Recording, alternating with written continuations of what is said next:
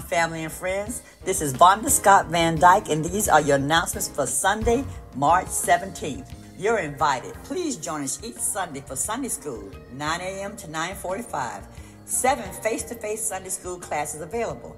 Two adult classes, one couples class, young adults, teenagers, preteens, and primary age. March is Women's History Month. God is in the midst of her.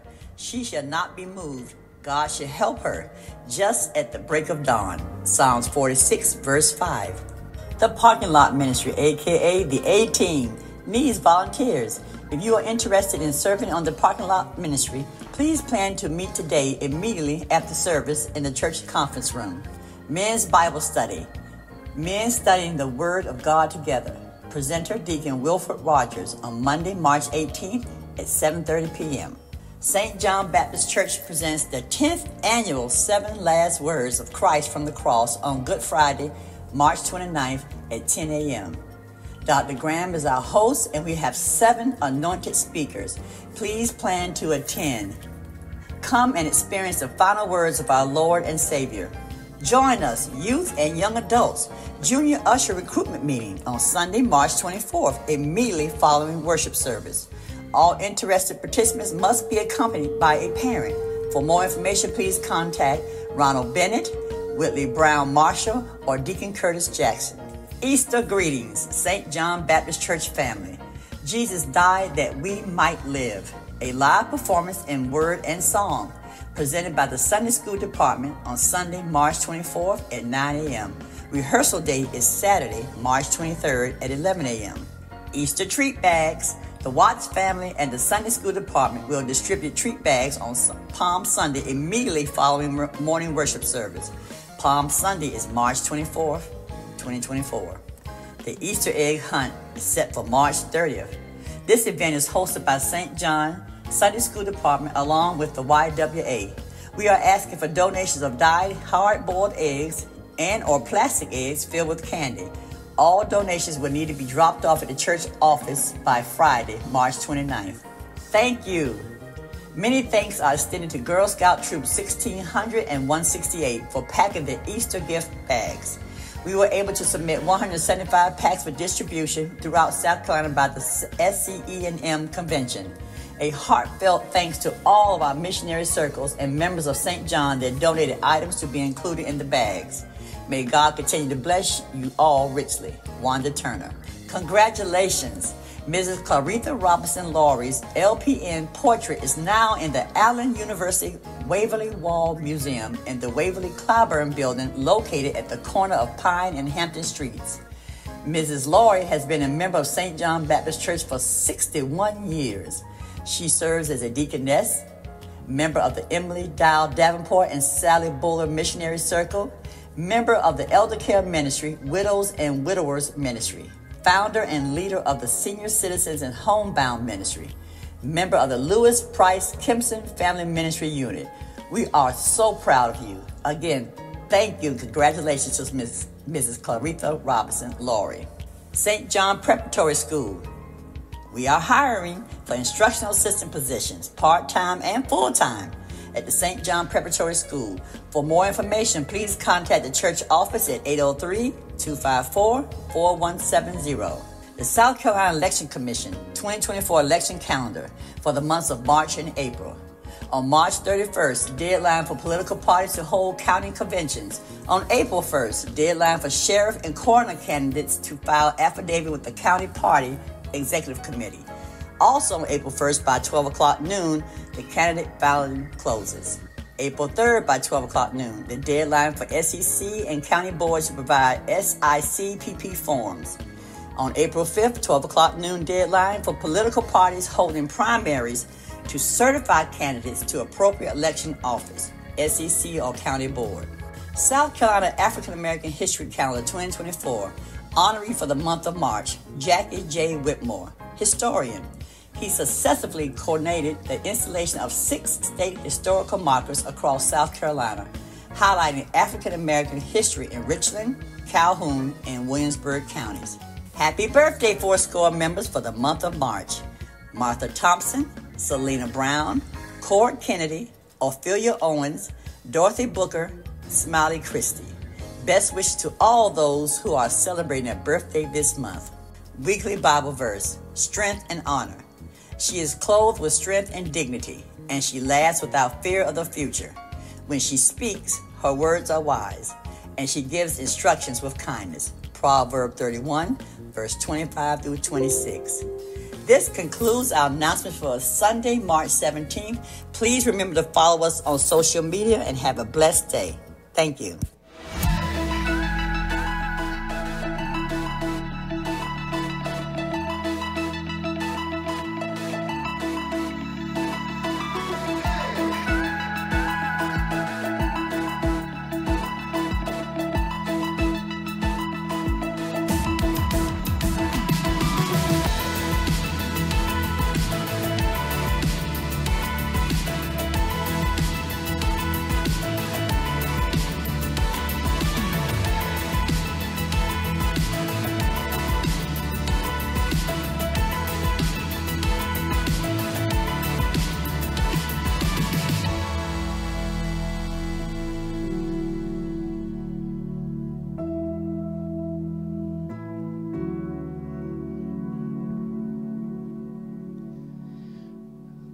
Thank you, um, Vonda Van Dyke, for the announcements.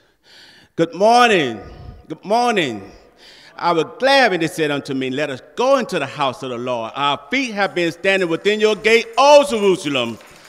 Revelation 21, 3 and 6. I heard a loud voice from heaven saying, Behold, the tabernacle of God is with men, and he will dwell with them, and they shall be his people. God himself will be with them and be their God. And God wiped every tear from their eyes, and there shall be no more death, no sorrow, nor crying.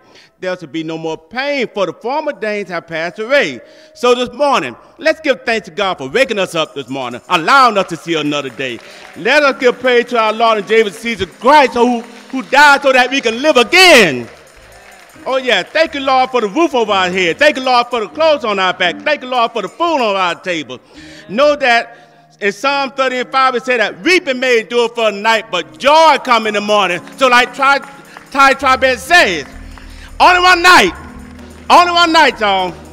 Thank you. So let's make a joyful noise unto the Lord, all ye land. Serve the Lord with gladness. Come before his presence with singing. Know that the Lord, he is God, and that he has made us, not we ourselves. We are his people and the sheep of his pasture.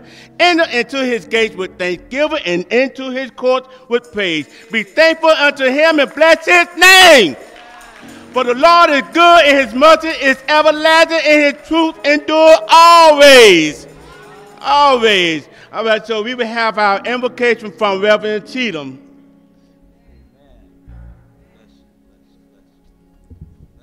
Good morning, St. John. Good morning. Let us pray.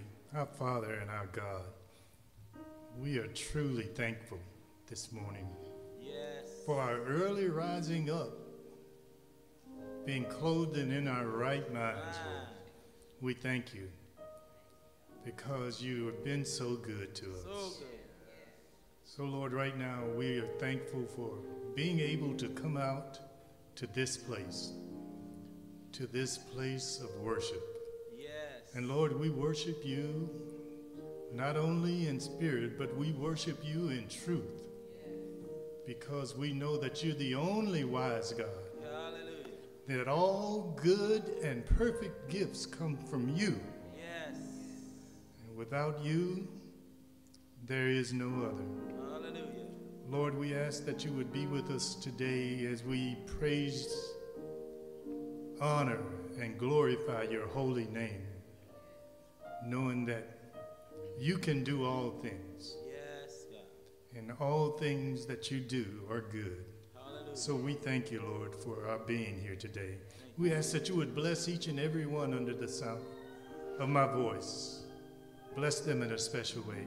Lord, we ask special blessings this morning on Minister Margaret Rutledge. Bless her in a special way. Reach down and touch her. Touch her body. Touch her spirit. Be with her. Lord, we know that you can you can heal and that you save to the utmost. So, Lord, we ask blessings on her. And then, Lord, not only her, but each and every one who's sick and shut in and not able to be here, who would had a desire to be here but weren't able to, Lord. We we don't take it for granted that you allowed us to come. So we thank you, Lord. Lord, we ask that you would bless every voice that lifts up your holy name. Bless the man who's going to break forth the bread of life to us today. Then, Lord, every, every keyboard, every finger that touches the keyboards or plays on the high sounding cymbals and the stringed instruments. Our voices, Lord, bless our voices that lifts your name up in praise. And we'll be careful. We'll be careful to give you all the glory and all the honor and all the praise. Bless us today in Jesus' name we pray. Amen, amen, and amen. Amen. Amen, amen, amen. While the ushers are opening the doors, let's give it up for Minister Victor Rogers. Amen. Leading us in our worship this morning. And we want to thank uh, Reverend Cheatham for that wonderful prayer. We, we are here uh, not only for worship this morning, but we have a special part of our service where we're going to ordain uh, walking deacon Daryl Caldwell and, of course, um, deaconess Sister Jocelyn Caldwell. Let's praise God for that. Amen. But at this time, we'll let us continue to praise and worship our God because He's worthy of our praise. And we know that giving is a part of worship. So at any time during the service, you can give as given unto the Lord. Amen. Our choir will come at this time. Let's lift Him up and praise His name.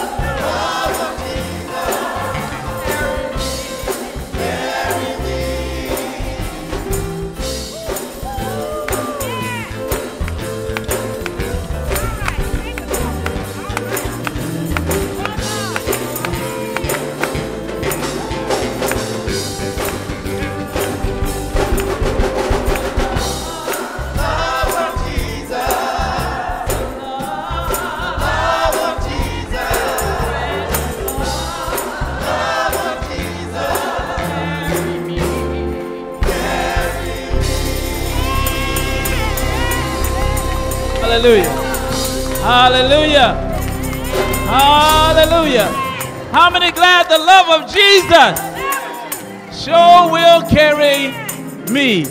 He's carrying you right now. The love, the love of Jesus. Amen, amen, amen. We praise God for the love of Jesus. We love him because he first loved us. Amen. Amen. We praise God for the love of Jesus. Amen. He carries us through the storms, through the rains, through the heartaches, through the pain. He keeps on carrying us. Amen. He keeps on making a way for us. He keeps on doing great things for us. Why? Because He loves us. Hallelujah. He loves us unconditionally. Looks beyond our faults, sees our very needs, He meets our needs. We praise God.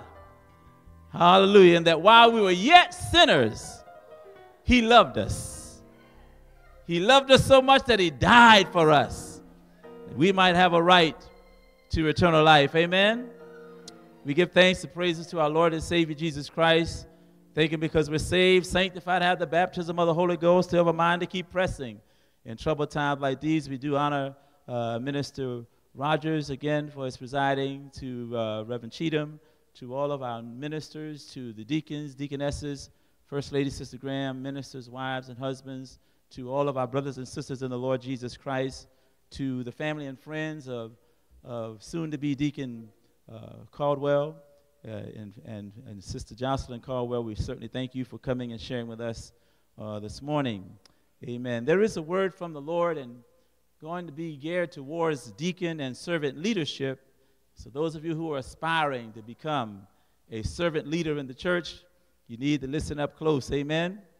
And then, of course, those who are already leading in various positions, this also, amen, goes for you. Those who are leading, those who are aspiring to lead, or desiring to lead in the church in any capacity of ministry, this word is for you. Amen. I want to ask that you would turn with us, if you will, to two passages of Scripture, and that is Acts chapter 6, verses 3 and 4. I'm reading from the New King James Version. And then Romans chapter 16, verses 1 and 2. I'm reading from the New International Version. version. Acts 6, 3, 4 says, Therefore, this is Peter after there was a challenge of service, challenge of having more service and more uh, servants in the house of the Lord so that we can meet the needs of those who are in need, especially the widows. And so here's what he says Therefore, brethren, seek out from among you seven men of good report, reputation, full of the Holy Spirit and wisdom, whom we may appoint over this business, but we will give ourselves continually to prayer and to the ministry of the word. And then Romans chapter 16, verses 1 and 2, Paul is writing to the church at Rome about a deaconess. And it says, I commend to you our sister Phoebe, a servant, a deaconess of the church of Cenchrea. I ask you to receive her in the Lord in a way worthy of the saints and to give her any help she may need from you. Why? And here's the text. For she has been a great help to many people, including me. These words become our message. I want to use for a theme, or I thought these brief moments we have together the deacon ministry, servant leadership, the help you need. The help you need. And of course, subtopic, we would just say, What a help! What a help. You know, saints, good help is hard to find. When it comes to ministry and service and meeting the needs of others, good help is hard to find. In the early church, the number of disciples increased, and there were more needs than the manpower to help meet those needs. And at that time, the church was growing because the apostles and preachers were doing their job well. What were they doing? They were praying and preaching and preaching and praying.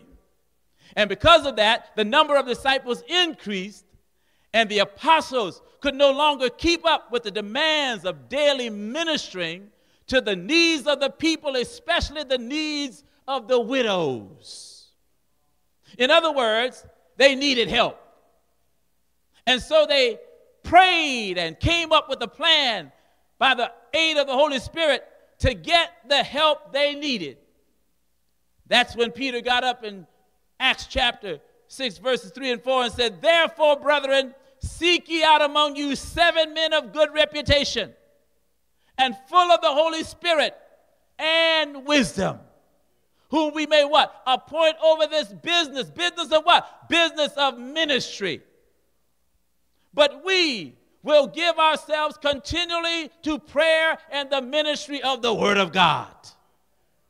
And guess what? When they chose the help they needed, the Bible said that the church increased more and more. Why? Because they secured the help they needed, and that help came in the form of deacons, servant leaders, assisting and helping the preacher, pastor, minister to the needs of the congregation. And this is what we find in Romans chapter 16, verses 1 and 2, the NIV. We find a good help. We find a commendable help. We find an exemplary help in this deaconess called Phoebe. Paul said to the church at Rome, at Rome I commend you, our sister Phoebe. I commend her to you, a servant, a deaconess of the church in Cenchrea. I ask that you receive her in the Lord in a way worthy of saints. To give her what? Any help she may need. Why? Because she has been a great help to many people, including me, her pastor. Can your pastor say this about you? Deaconess, deacons, deaconesses, can your membership, your congregation say this about you? Can they say that you're a help or a hindrance, a blessing or a burden? Now, this, this, this goes for every leader in the church. We know that this is this uh, specific is specifically saying deacons, but guess what? It goes for every leader in the church. We just happen to be what? Ordaining a deacon. But all the leaders in the church should be what? A servant leader. Who are what? Great help for to their pastor, great help to their members, the body of Christ. Can your pastor say this about you? Are you a committed leader? Listen, when you are a good help, your reputation precedes you. Phoebe, the deaconess, is coming from a church in Cenchrea to serve the church in Rome. And so Paul puts in a good word for the what, hardworking deaconess who helped many. Yes, the NIV said she has been a great help for many, too many. Can this report be said about you? Are you a sheep or a goat?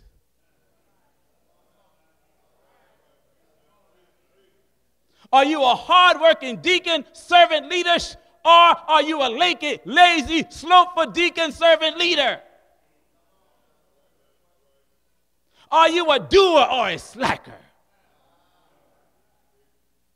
Are you a help or a hindrance?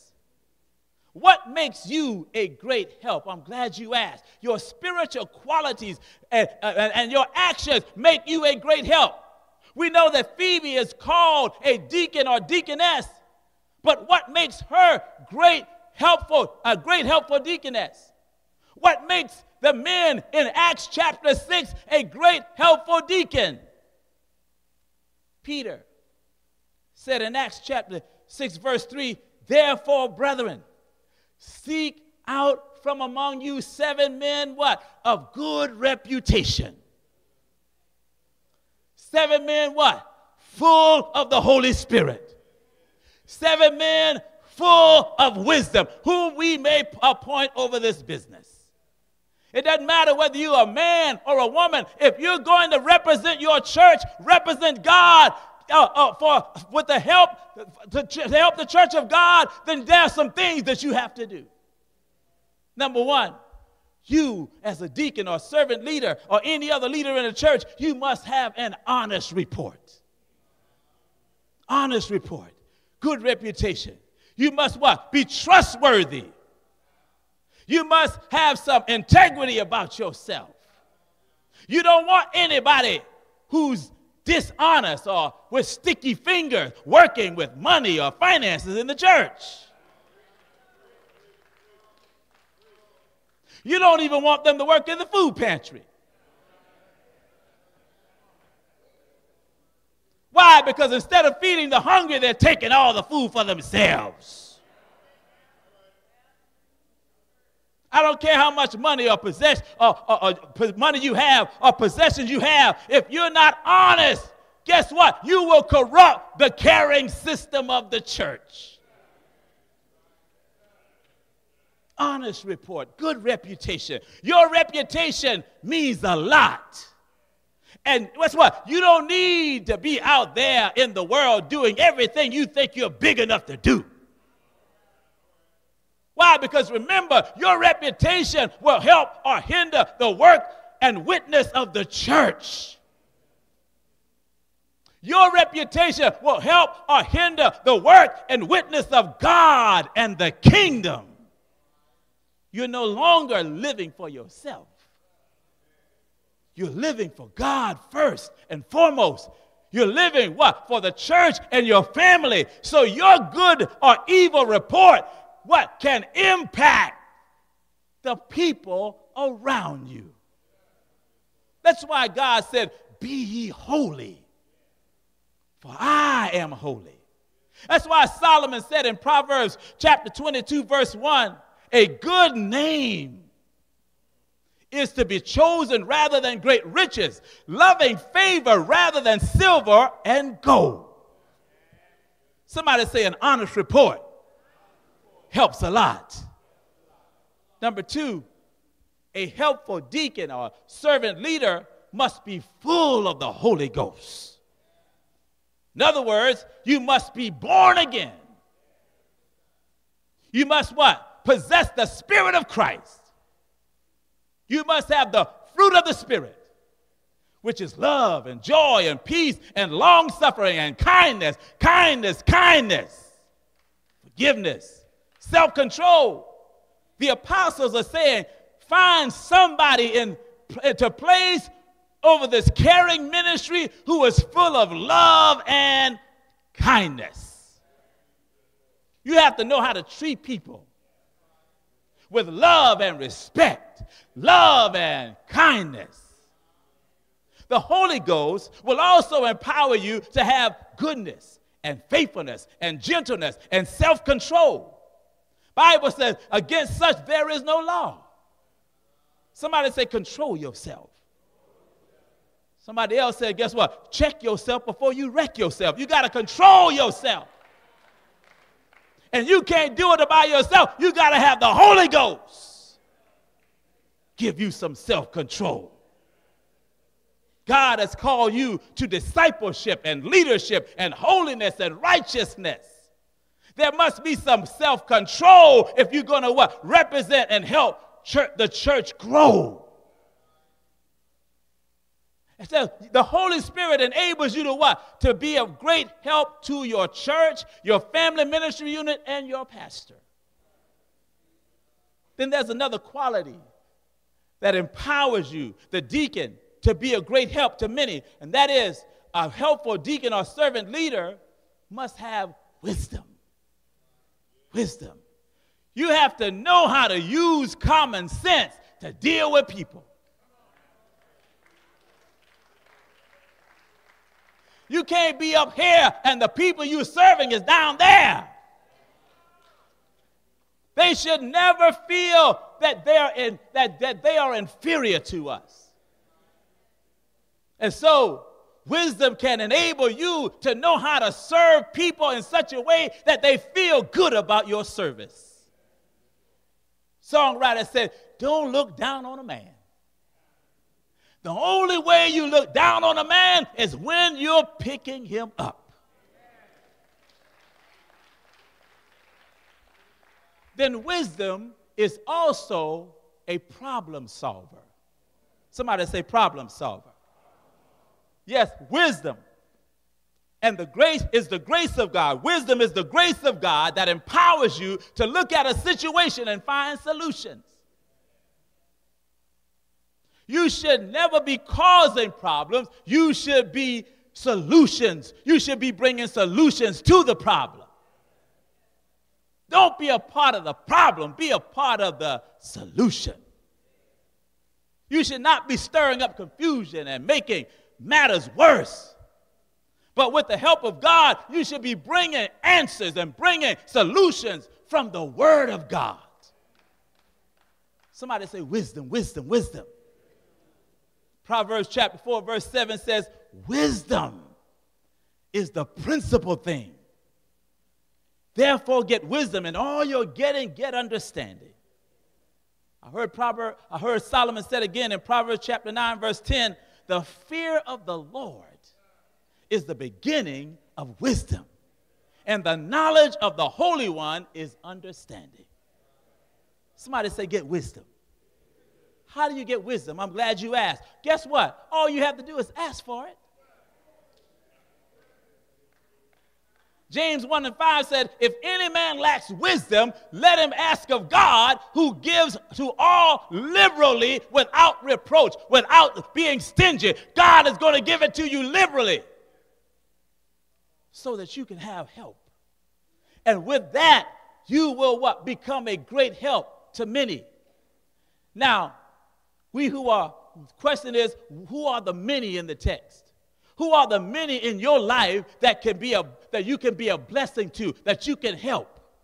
As deacons or servant leaders, you can be a great help, number one, to your family.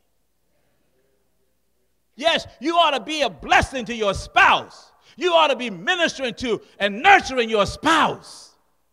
So that what? Others can see an example of a godly marriage and a godly family. You ought to be a blessing and a help to your children. Proverbs 22 and 6 says, What? Train up a child in the way that he or she should go, and when they're old, they will not depart from it. Love your children, support your children, discipline them in the right way, lead them by example, and be a great help to what? And that, that way you can be a great help to your family and your church, your pastor, which is number two you can be a great help and a blessing to your church. How?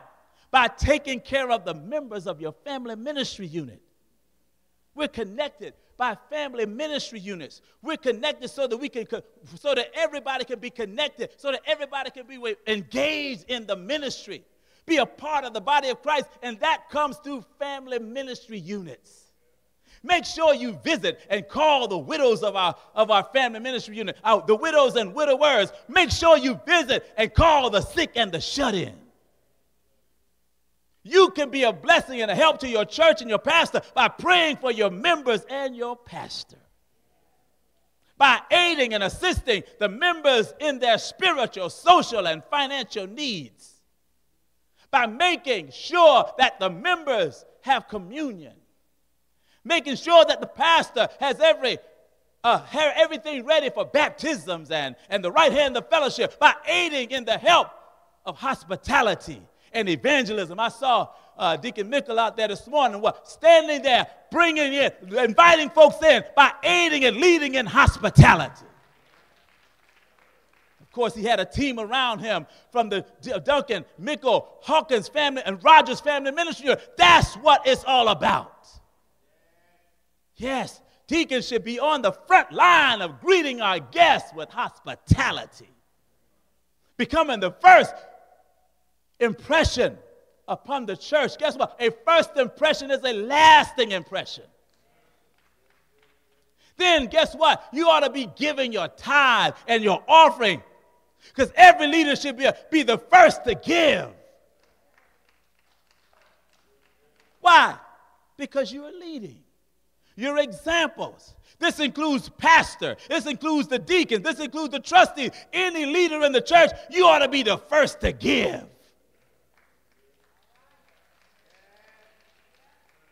How are you going to lead an organization?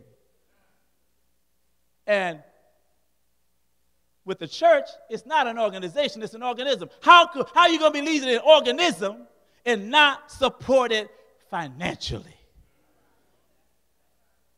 Can I tell you that when you become a great help to others, you're in good company?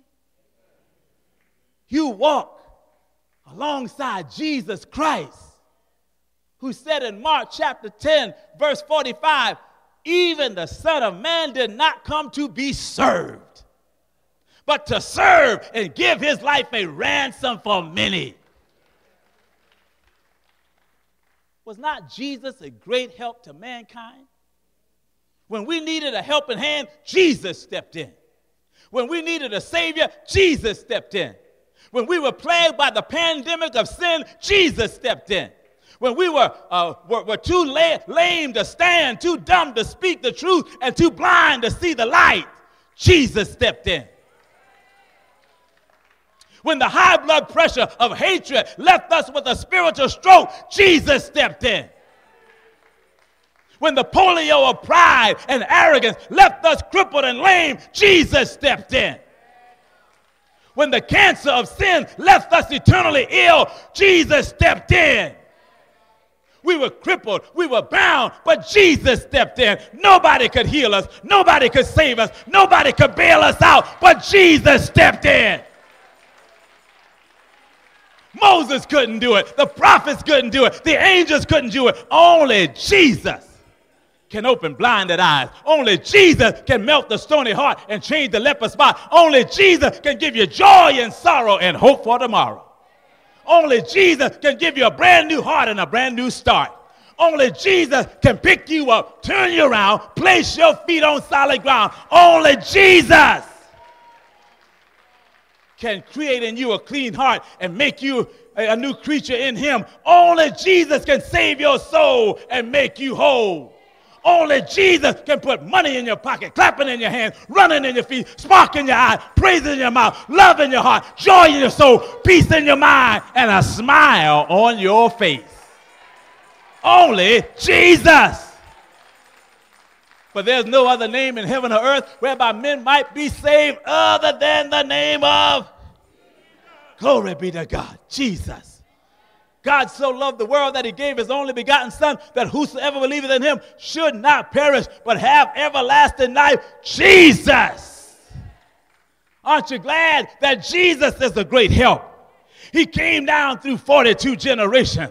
He healed the sick, raised the dead, 5,000 souls he fed, made the lame man walk and the dumb to talk. More importantly, he made the ultimate sacrifice. He hung, he bled, he died for your sins and mine. But early Sunday morning, I said early Sunday morning, he got up with all power. And guess what? He's given you power. He's given you power. He's given you power to be a great servant leader to make the sacrifices to help somebody else. He's given you power to witness and tell the world about Jesus. Do you know him today? Have you tried him today? Do you know the King of Kings and the Lord of Lords? Do you know the one who made the ultimate sacrifice for your sins and mine? Do you know the one? And guess what? They crucified him. They killed him. And guess what? You as servant leaders, you're going to be crucified. You're going to be talked about. You're going to have to suffer. But guess what? You got the Spirit of Christ on the inside of you. You got bounce back power. Somebody say yes. Somebody say yes. Glory be to God. God loves you. God cares about you. God wants to bless you. He wants to save you. He wants to raise you up. So you too can be a true servant leader for the Lord. Hallelujah. As you stand to your feet today, there may be someone out of the ark of safety, no God on your side, no heaven in your view. You came today lost, bound, crippled by the handcuff of sin. He wants to set you free. All you have to do is come, repent of your sins, believe in your heart, confess with your mouth that Jesus is Lord and that God has raised him from the dead. The Bible said, no ifs, ands, or buts about it, but you confess, you shall be saved. Repent, change your mind, change your direction, change your heart about Jesus. Know that he loves you, know that he cares for you. Will you come today? Perhaps there may be one who desire to join the St. John Baptist Church because we are in love with Jesus. Will you step out right now? You can come under your Christian experience with letter recommendation as a candidate prepared for baptism. If you step out, one of St. John will step out with you. Will you come? God loves you. God cares for you. God wants to save you. God wants to set you free. God wants you to be a part of the body of Christ, of the kingdom of God, of the church of the living God. Will you come today? Will you come today? Hallelujah. Spirit of God is speaking to your heart. He says, Behold, I stand at your heart's door and I'm knocking. If any man will hear my voice, open the door. I'll come and have supper with him. He with me, I with you. Will you come? Will you come? Hallelujah. Yes, yes, yes. Glory be to God. For those of you who desire prayer, will you come that we might pray the prayer of faith together? Our God is able to do exceedingly, abundantly, over and above all that we could ever ask, think, or even imagine for Him. Hallelujah. Hallelujah. If you need prayer today, please come. Please come. Please come.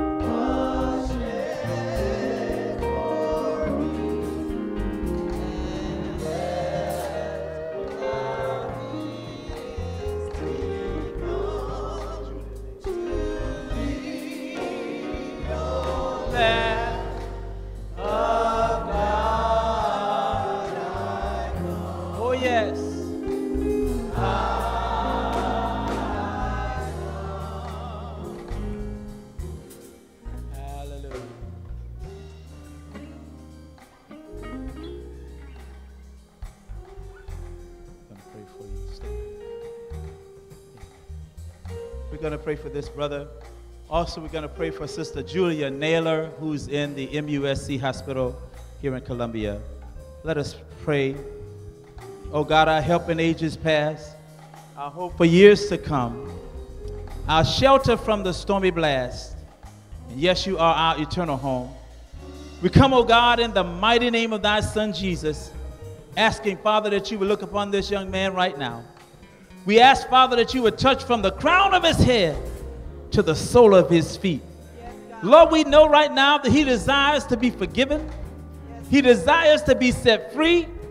And Father God, we thank you that your son Jesus was wounded for his transgressions, bruised for his iniquities. The chastisement of this young man's peace was upon him, and by your stripes, Lord Jesus, he is healed. So as we touch right now, God, we ask in the name of Jesus that you would loose right now, that you would set him free right now, that you will wash away every guilt, every sin, every shame in the name of Jesus. We decree and declare freedom over his life. We decree and declare liberty over his life. We decree and declare salvation in the name of Jesus. Jesus, you said, I am the way, the truth, and the life. No man cometh to the Father but through me. God, we thank you that you are the way. Have your way in this young man's life. In the name of Jesus.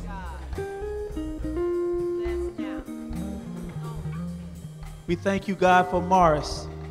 We decree and declare over Morris right now freedom, liberty, deliverance. Father, we thank you right now in the name of Jesus. We give you glory, we give you honor, we give you praise for Morris in the name of Jesus. Not only Morris, God, but we come in the mighty name of Jesus that you will look upon these, your people around this circle. Lord, somebody needs you for one thing and somebody needs you for another. But we know, Father, you have 10,000 blessings in your hand just to satisfy us all. So we come in the name of Jesus, asking that you remember the sick right now. Let your blood cover from the crown of their head to the sole of their feet. We know there's power in your blood, healing in your blood, deliverance in your blood. Let your blood cover. Cast out the affliction that's plaguing their bodies. Even as we speak, we know you're moving by your power. We thank you for pulling down that high blood, regulating that diabetes, drying up that cancer, easing that pain, soothing that scorching fever. God, we just want to tell you thank you. Thank you, Father, that the name of Jesus is above every name. Every form of cancer, your name is above. Every form of heart disease, your name is above. Every form of kidney disease, your name is above. Every form of, of, of, of mental illness, your name is above every name. Lord, we thank you right now for your anointing. We thank you for your power. We thank you for your grace. Your name is above depression. Give them joy that will flow like a river, joy unspeakable and full of glory, knowing that the joy of the Lord is our strength. Father, we pray not only for those who are depressed, but we pray for those who are in bereavement right now. Lord, we ask God that you would comfort and strengthen and keep them in your care. We thank you, dear God, that you're filling them with joy even as we speak. We pray for those who are lost. Save to the utmost. Save our sons and daughters. Save our husbands and wives. Save mothers and fathers. Save to the utmost. Then, Father, we pray for those who are in a financial bind. Open that door to that new job, that new promotion, that new opportunity. Shut the door of poverty, disappointment, and discouragement. We know you can open doors that no man can shut. You can shut doors that no man can open. And God, we just want to tell you thank you. We bless you now for these your people who stand all over this sanctuary. Lord, for those needs that I failed to ask, we ask that you would grant it right now. Bless right now. Bless the family. Bless the marriage. Bless the children in the name of Jesus. Lord, remember those leading our nations down to the mayor of our city. Give them a mind to make right decisions that we might lead a quiet and a peaceful life. It's in Jesus' name we pray. We count it done. We claim the victory. And the people of God said, Amen. Amen. Amen.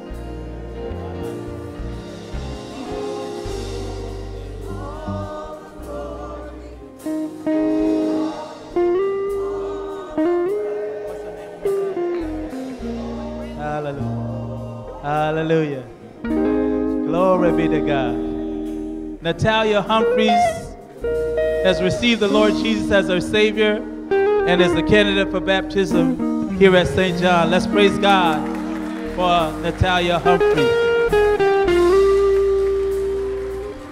Hallelujah.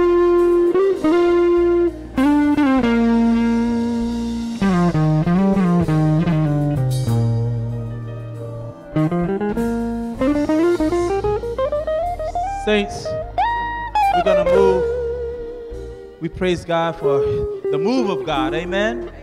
For the work of God in this place. For salvation, deliverance, for setting the captives free. We're going to move now briefly into our deacon ordination service. Deacon Wendell Price is going to come and speak briefly about the occasion, after which uh, Dr. Edwards is going to bring the charge to the church. You should have a program in hand. If not, raise your hand. I, think we have enough for everyone. Turn it this way. This way. Yeah.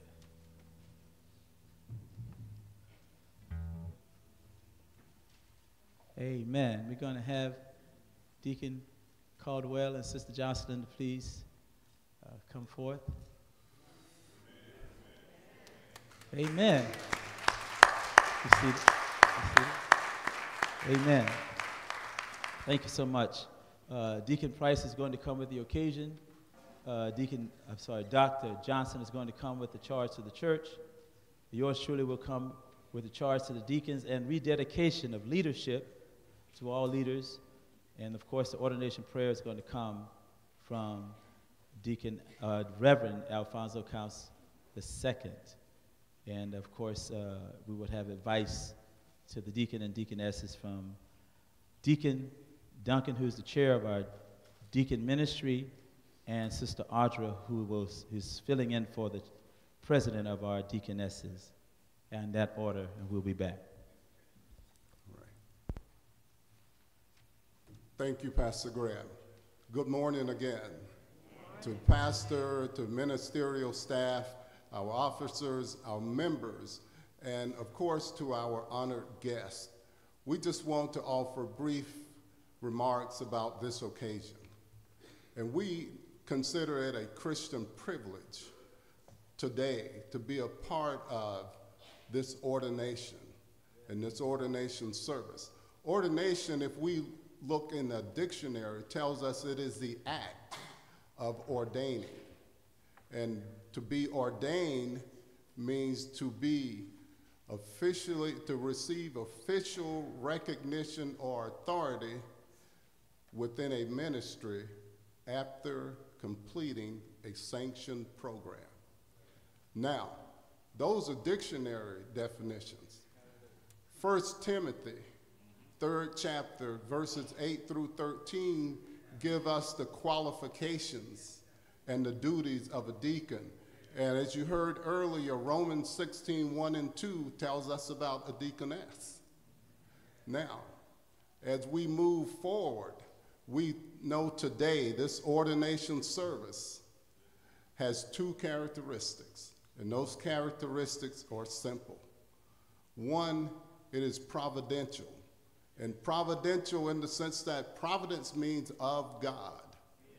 Now, we all had a desire to be here today, but it was God's will throughout the years that we actually be here today. Through all of our journeys in the days, the hours, and the years leading to this moment, none of us, by ourselves and our own strength, could have arrived here. So it is by God's providence and God's will that each one of us are here today to be here to fulfill this occasion with our brother and sister. So we thank God for his providence and his care, his grace that has brought us to be a part of this event today and this occasion. Secondly, this is a sacred occasion. It is sacred in the sense that we are blessed to be here and have the opportunity, and we're afforded this opportunity to bear witness to this event, which is a staple and a foundation of our church and the church's operation, and the work that the church will have to do and continue to do. Now, as we thank God for all of that, we also thank Him for Brother Darrell and Sister Jocelyn's obedience and their obedience to undertake this servant duty. And this is servant's duty.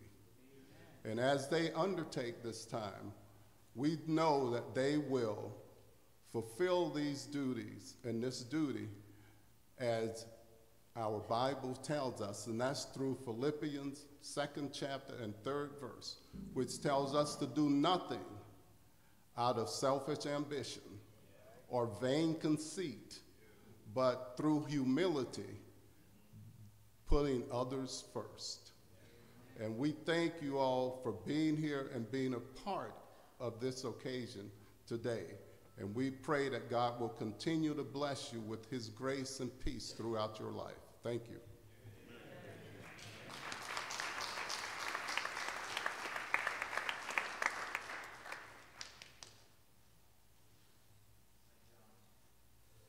Let us stand. St. John, let us stand. Amen.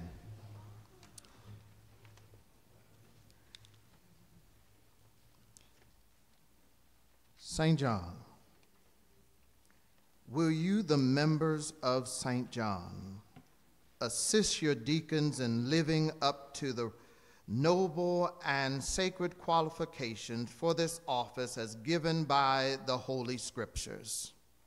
With God's help, we pledge to assist our deacons.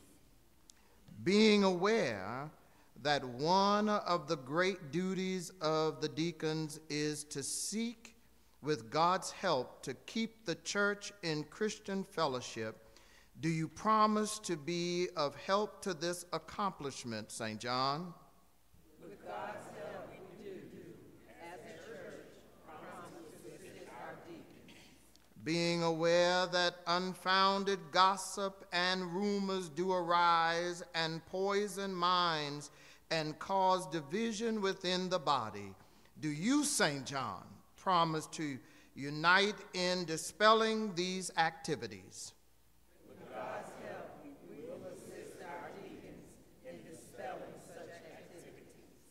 Do you, St. John, promise to help our deacons make the decisions that God would have made for this, his church? We do pray that all godly decisions will be made for the church. Do you, St. John, promise to pray for your deacons that they will ever carry out the sacred duties mandated by God's word? Our daily prayers will be for our deacons. Amen. Amen.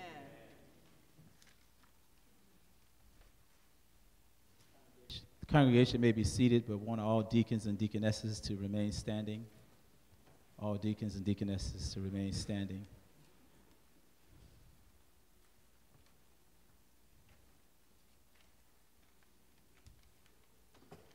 Do you commit to assisting the pastor in ministering to the spiritual social, and social needs of families and individual members of the church? I do Do you commit to giving your tithes and offerings to help fulfill the church's missions, vision, and ministry programs? I do. Kind of low right there. do you commit to assisting the pastor in discovering and ministering to crises and problems within your family ministry units? I do Do you commit to encouraging members of your family ministry unit to get involved with the ministries of the church? I do. To deaconesses, do you commit to carrying out your God given duties of assisting the pastor and the deacons in promoting and fulfilling the mission, vision, and ministry programs of the church? I do. Do you commit to assisting the deaconess ministry as they fulfill their duties in preparation for the ch- church ordinances? I do. All leaders, please stand. And of course, deacons and deaconesses remain standing. All leaders, if you're a leader of an auxiliary, a president, or vice president, uh, please stand at this time. Do you commit in assisting the pastor and leading the church in outreach opportunities to witness about salvation through Jesus Christ? We do. Do you commit to giving your tithes and offerings to help fulfill the church's mission, vision, and ministry programs? Kind of low there too. Do you commit to setting an example for the members of your organizations in attending and participating in prayer meeting, Sunday school, Bible study, and financially supporting the church? Do you commit to building a strong bond between deacons and pastor and other leaders of the church to help promote and maintain the spirit of love, peace, and unity throughout the church? As leaders, we are, are to pattern our lives after Christ, who once said, I did not come to be served, but to serve, and to give my life as a ransom for many. I recommit myself to lead the way Christ led, not the way humanity dictates. By the aid of the Holy Spirit that burns within us, we pledge to take our responsibilities seriously. We pledge in 2024 to set the standard of leadership that is pleasing unto God and worthy of our calling. I recommit myself to leading the way Christ led, not the way humanity dictates. all together. As leaders of St. John Baptist Church, we do now, in the presence of God, His angels, and this assembly, rededicate ourselves to Christian service in ministering to the needs of the church and advancing the kingdom of God through Christ Jesus our Lord. Amen. Will you bow with me? And now, Lord, by the power invested in me, as your under shepherd of this flock, I pray for this leadership of St. John Baptist Church. Empower them to serve you and your church as true servant leaders. Give them love, joy, peace, compassion, forgiveness, patience, and understanding so that they may carry out their divine assignment as you have given them by the inspiration of your Holy Spirit. Bless their individual families. Bless their family ministry units and bless them as instruments of your divine service. Bless now their rededication and leadership with the anointing of your Holy Spirit. In Jesus' name we pray. Amen. Amen. You may be seated in the presence of the Lord. Now we will have the laying on of hands. We're going to ask at this time that Deacon and Sister Caldwell to turn around and bow down here. We're going to do laying on of hands. And I ask you I want to ask the deaconesses to come on this side, if you will. All of our deacons come over on this side, if you will. And Reverend Counts is going to be prepared to pray.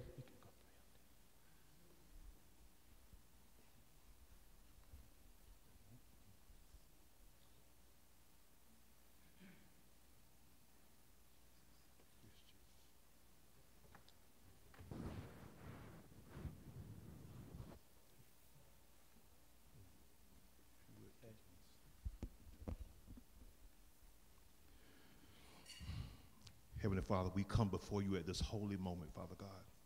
A moment that you have ordained, Father God, Lord, as you ordained this couple, Lord God, before they were in the wombs of their mothers, Father God. You knew where they would be on this day, God, March 17th, God. And Lord, we give you glory, Father God. Oh God, you've taken two organisms, God. You bind them as one, Lord God. You bind them in one as a marriage, God. The two shall become one. And now you have made them a holy deacon and deaconess ministry, Father God. And so, Lord, we thank you for the mindset, Lord, that you covered this couple, Lord God, from the beginning, Lord God, now to the process of this journey, Lord God. Oh God, we give you glory. We praise your name, Father God, for Lord, you made the way out of no way, Father God. And they knew the way was Jesus. Jesus is the way, the truth, and the life, Father God, right now, God, in this, in this next chapter of their lives, Father God, this marriage, Lord God, that's now a ministry, Father God. Oh God, they have the mindset of Christ, Lord God. We ask you to anoint them right now, God. Give them access, Father God. Put your loving arms around them, Lord God. Keep them, Lord God. They can only be kept by you. Only by you, God. Oh God, you said the two shall become one. This is one ministry, Lord God. We pray for their sons, Father God. Cover them, Lord God, with the anointing right now, God. Oh God, no geographical distance, Lord, can, can deter your divine order right now. In the name of Jesus, Lord God. Oh God, this man, this woman, Father God, will represent you, Father God. The holiness of you, Father God. The grace of you, Father God. The mercy of you, God. The mission of you, Father God. And Lord, for that we give you glory, God. No weapon formed against them shall prosper. Oh God, the word of God shall be a lamp unto their feet and a light unto their path, Father God. They'll put on the whole armor of God, Lord God. Use them to the utmost, God. Oh God, from the top of their head to the sole of their feet, God. Oh God, crown them in your glory, God. Oh God, we've seen their works, God. And we know it's the anointing, Father God. We thank you for down through the years, God. You carried them through, God. Danger seen and unseen, Father God. And God, we know, God, they're going to do well in this good work for you. Oh God, we witness, God, that they'll know there's a difference between in with intelligence and inspiration. They'll know a difference, God. There's a difference, Lord God, between inspiration and instruction, God. Oh God, they're going to witness of your word, God. And Lord, go out into the world and be a light and be the salt of the earth, Father God, that they would that they would give you glory as people see their good works in this deacon and deaconess ministry, this deacon and deaconess marriage, this deacon and deaconess ministry and, and mission, Lord God. Oh God, we thank you, we give you glory, and we give you praise. And all the church body who believe that what's God doing right now is his divine order, let us all say amen. Amen. Amen. Give God praise. Give God praise. Give God praise. Hallelujah. Hallelujah. Hallelujah. Hallelujah. Thank you all so much. Amen. As we go back to our seats, we're going to give a few other encouragements and instruction. And we're going to let you go. We got a few other things we want to do. Thank you so much for that anointed prayer. Advice from Deaconess Audra and Deacon Ben at this time.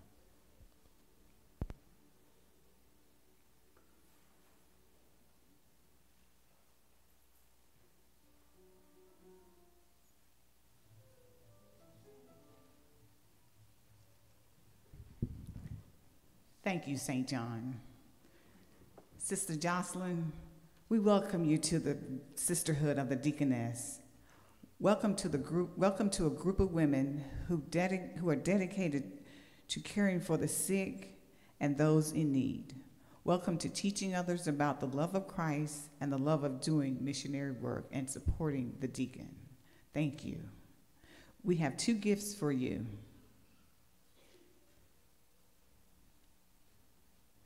Miss Graham is bringing them to you. The white hat.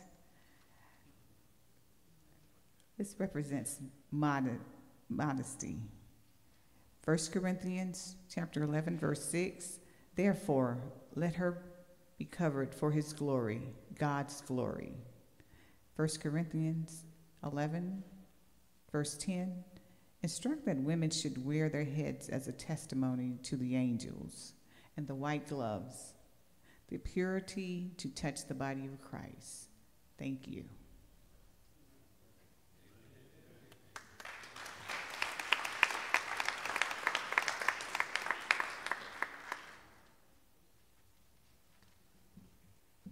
Pastor Graham, Deacon and Deaconess Caldwell, I had this long speech and stuff to say, but Pastor Graham said every word I was going to say this morning, so I'm going to cut it short. Okay? I'm going to give you some advice, and it's godly advice, and it's the wisdom of old. And I'm old now. But I've got it from people who are older than I am, and some who are no longer here.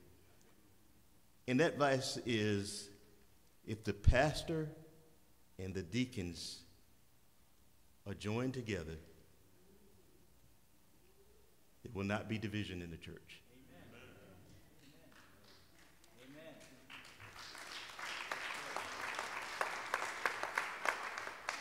That was, was passed to me years ago. And a, a former pastor of this church, Reverend Roscoe C. Wilson Sr., y'all notice I said senior, said the deacons are to assist the pastor and not insist to the pastor. So, what that is saying is that we're working together. And if we have something we want to say to the pastor that we're not sure if it will be part of the union of this uh, uh, church, we need to say it separately and come to that union. So keep that in mind that we are men of God and we know how to work it out. And finally, I want to say always ask that question, why? Now, you know, little children always walk around and say, why? Why? But if you see something, ask why. Because it could make a difference. And I'm going to give you an example, and then I'm going to take my seat. And some of the younger, well, they're not younger anymore. Um, when we were younger deacons, I'll put it that way. When we visited the sick, we traveled around with the older deacons. And we came across a situation where this lady was in pretty bad shape. The house was in total disarray.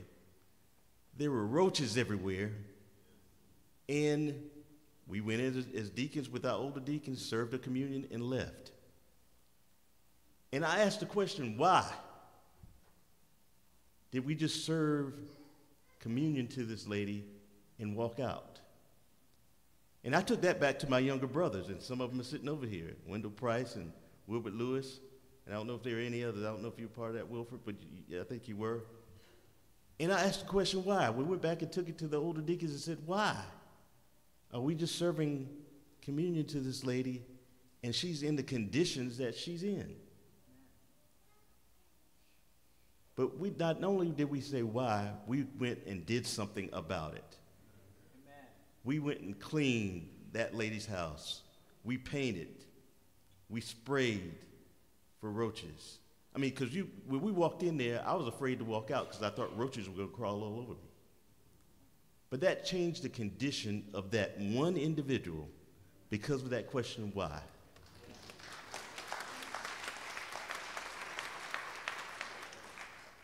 So from now on, if you see something, say something. Pray about it and ask why.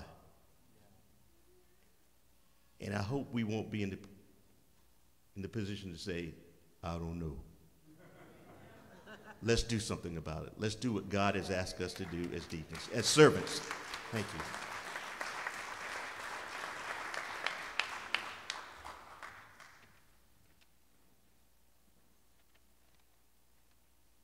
Thank you, Sister Audra and Deacon Duncan. I'm going to ask you all to stand at this time. I'm going to ask you to turn around, if you will.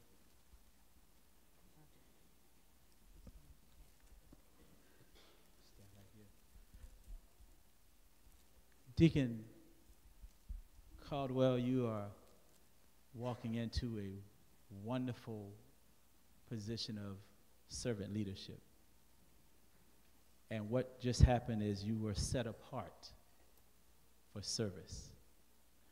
And it takes special tools to do this work. And one of the major tools and weapons is the Word of God. And we're going to give you this because the Word is a light unto your path, and it will be a lamp unto your feet. We also know that everything else will fail, but the Word of God will stand forever. We also know that when you minister to the family ministry units that you will be assigned to, the members of that family ministry unit, there will be situations like Deacon Duncan just mentioned, and other situations and problems that families are going through and will be going through. And you're going to be needing sound answers and divine advice. This word has everything you need. Every answer to life's problem is in this word. And so we're going to give you this word. It is a Tony Evans study Bible. It has a whole lot of good stuff in it. But the main thing is, it is the Word of God. You can stand on it, you can bank on it.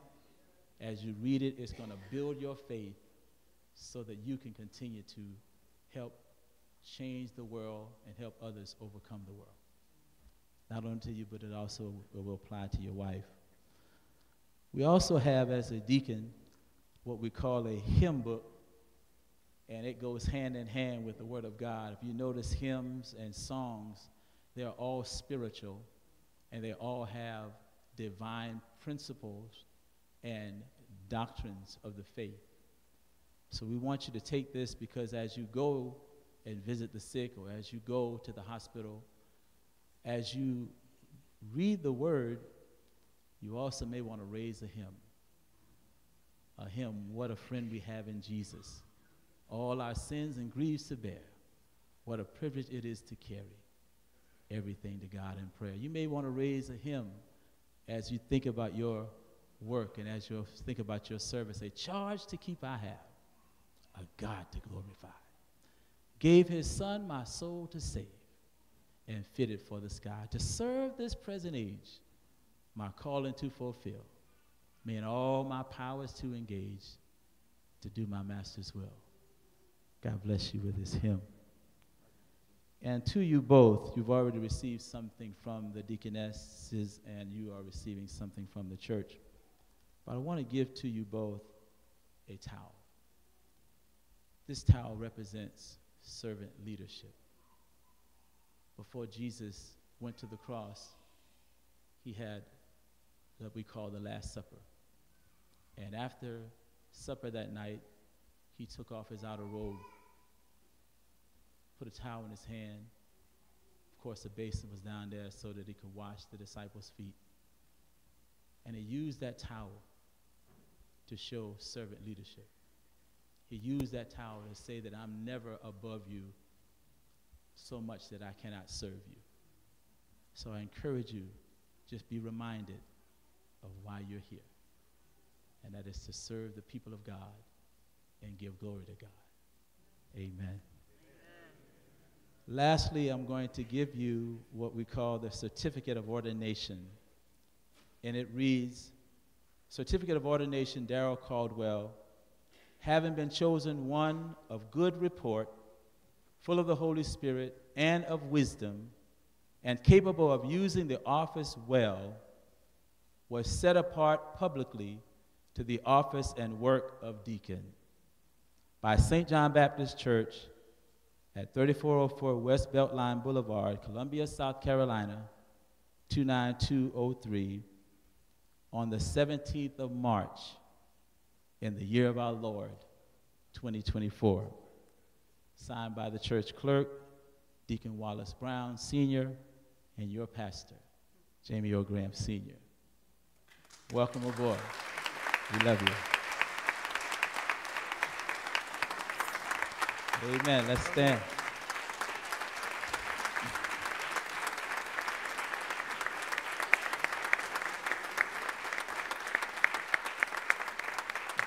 As I present to you Deacon Darrell C. Caldwell, Esquire, I want to just share a little bit about him, and he's going to come forth. But uh, Deacon Darrell Caldwell is a native of Manning, South Carolina, where he uh, graduated from Manning High School in 19, 1986.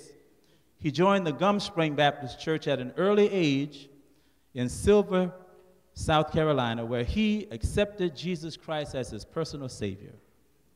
As a youth, he participated in numerous church organizations.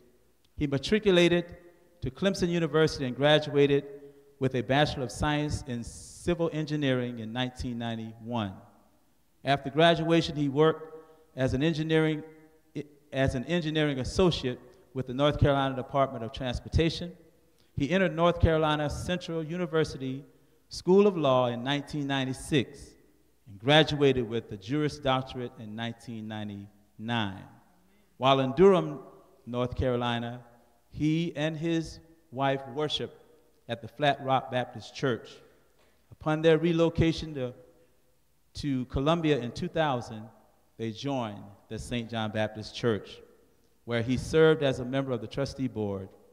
Brother Darrell is married to the former Sister Jocelyn Brown, and they have three children Aqu- Aquia, Joshua, and Isaiah, and they have five grandchildren. I present to you now Deacon Darrell and Deaconess Jocelyn Caldwell.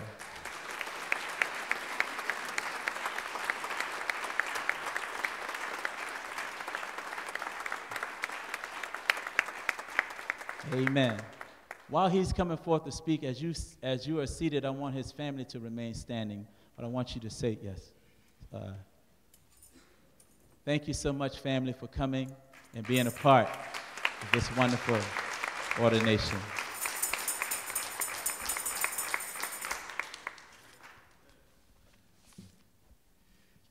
Good morning, St. John. First, I'd like to give, an honor, um, the honor to the Lord uh, Jesus Christ, who's the Savior of my life. Um, secondly, Pastor, uh, deacons, members, and friends, it's always dangerous to give a lawyer a microphone in an audience. So we may be here for another hour or so while we do a brief on the Bible.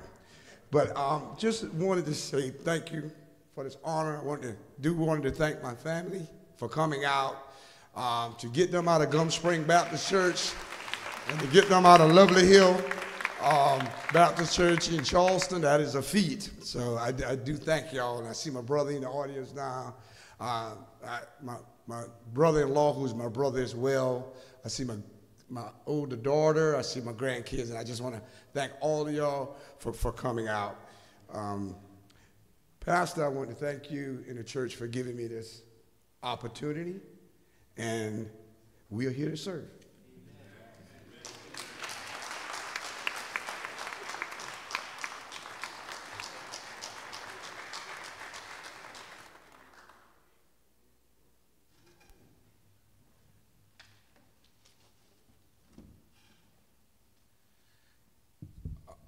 one of the other charges that I was told last week by a minister, and, I was just uh, giving some directions, so I will put some context with this. Uh, one of the ministers in the church pulled me aside and said, "Now, you about to become a deacon. First thing, you're private. You don't know anything. You go, you sit down, and you listen to the old deacons, and they will teach you. That's the first thing I'm going to tell you. Uh, second thing, you ought to think. You ought to read the Bible, and you ought to think. So I just had the senior deacon say, turn around and go back and introduce your family. So I'm doing what the minister told me to do. Um, my mom, Dr. Caldwell Stoops, my, my aunt, my aunt, Dr. Lily Caldwell, my aunt Tiny Caldwell Adger, my daughter Akia Conyers, and the grands, Michaela, JR, DJ, Anthony, and Shauna. Um, my father-in-law, I call him Master Chef, but Tony Brown, that's Jocelyn. Mhm. His wife, Odessa, Miss Odessa. My, my, my aunt, oh, my brother-in-law, Tony.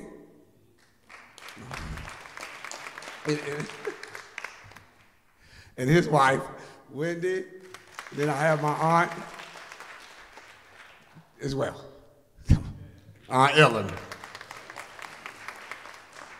Did I miss? I missed JR? I got Dr. Green. My brother, stand up, JR. And- and incidentally, he's a deacon at his church, and he was the first person I called when Rev called me. I called John and said, Really? Can I do this? he said, You'll be fine, man. Just read the Bible. You'll be all right. So that, that pleased him. Did I miss anyone? Any of my family members? Okay. Again, thank y'all. And um, Deacon Duncan, is that okay? All right.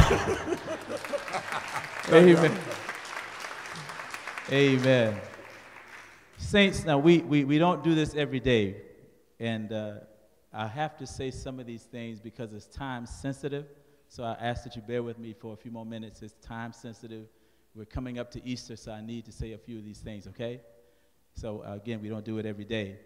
Uh, uh, first of all, I want to thank all the volunteers who came out to clean up the church and the community on yesterday.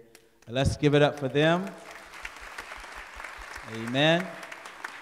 Trustee Wesley Shaw, the Brotherhood, the trustees, uh, Reverend uh, Johnson, and the uh, youth uh, choir, youth minister, mem- members of the youth department, uh, and all of our missionaries and deaconesses who are cleaning up inside and outside. We praise God for that. Amen. And we also want to thank God for Reverend Likes, who supplied us with the food on yesterday fish and hot dogs and hamburgers, along with those who served with him. Amen. Amen. Thank you so much. I want to also thank the Spring Valley Student Council for donating 400 canned goods to the food pantry. Let's give it up for the Spring Valley Student Council. Now, here are the time sensitive things. Attention.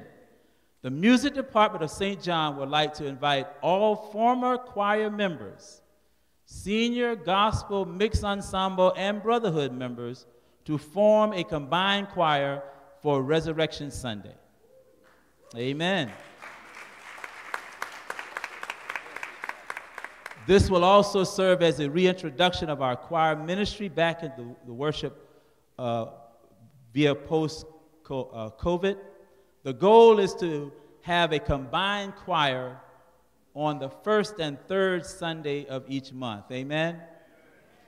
And so here's the mandate rehearsals will be on Saturday. You must, you must show up at rehearsal on Saturday, March 23rd at 11 a.m. here at, in, the in the sanctuary. And then, of course, March the 30th at 11 a.m. here in the sanctuary to prepare for Resurrection Sunday. Amen? Please see Brother William Huggins and Sister LaShonda Dillon in the vestibule to sign up for this wonderful resurrection choir. Amen? Also, baptism and the right hand of fellowship will be on Easter Sunday morning. Easter Sunday morning. And of course, on next Sunday morning, we will have a live Easter program from our Sunday school at 9 a.m. sharp. So please come and support our children and our Sunday school. Amen. Reverend Dr. G.J. Kennedy will be preaching on Wednesday night here in the sanctuary. Amen. So please come out and hear him in our Lenten Wednesday night worship service at 6 o'clock. Amen. Want to also thank Brother Harry Patterson for last Wednesday's uh, preaching job well done. Amen. Lastly, from me, uh, that is the last, seven last words. Good Friday uh, service will be on the 29th from 10 to 12:30. Please put that on your calendar, and please come out and support this wonderful community event. Amen. Will all visitors, guests, honored guests, please stand at this time? All honored guests. Amen. Amen. God bless you. We are happy and delighted that you came today. You could have chosen any other church, but you chose St. John. We thank you for coming. May God bless you, and may heaven continue to smile upon you. Uh, they're bringing uh, gift bags to you right now. Uh, but if you do not have a church home and you desire to join the St. John Baptist Church, a hospitality ministry member will greet you at the door as you go out, and they'll tell, tell you a little bit more about the St. John Baptist Church. Let's thank God for our honored guest. Is Reverend Darrell Vanderhorst here?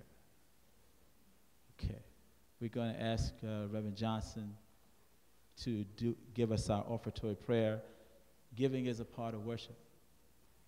Yes, giving is a part of worship. After the service, we're going to ask all deacons and deaconesses to please come up. We wanted to make sure we take a good picture uh, of this wonderful event. Amen. Let us pray.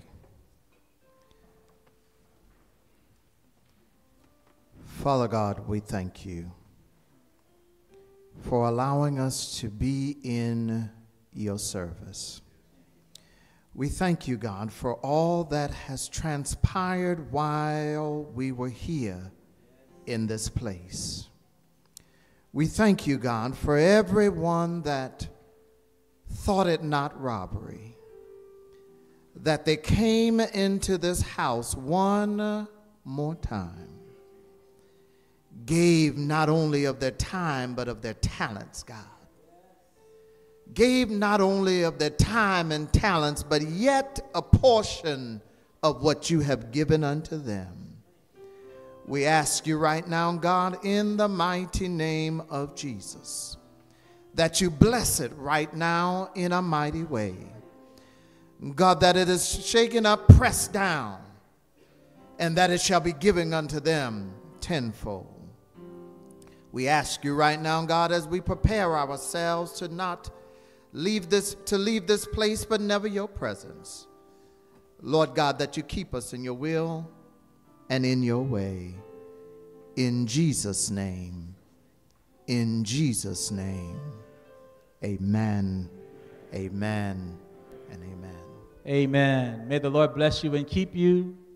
May the Lord make his face to shine upon you and be gracious unto you.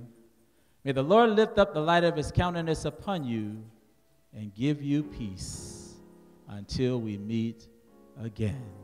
And we all say amen. Amen. amen. And amen. Our choir will sing us out. I'm going to ask our deacons and deaconesses to please come forward.